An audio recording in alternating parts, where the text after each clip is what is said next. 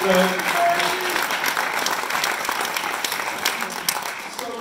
that are Chris Govang and Lane Gleason.